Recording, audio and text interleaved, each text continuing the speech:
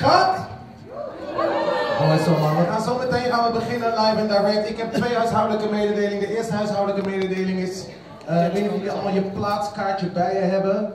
Maar eh, er staat iets op vermeld. We staan allemaal op de gastenlijst van de afterparty. Mag ik dat even